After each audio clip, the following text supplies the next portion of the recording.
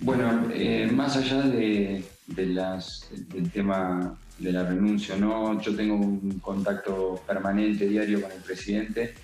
Vamos analizando todo lo que va sucediendo cada vez que jugamos, tanto cuando ganamos, tanto cuando empatamos y también cuando perdemos. No es habitual, no es por los resultados, este, porque yo entiendo que esto es un juego y parte del juego es que uno pueda ganar, perder o empatar. El equipo, si bien es cierto, tuvo un rendimiento eh, pendular durante estos tres meses.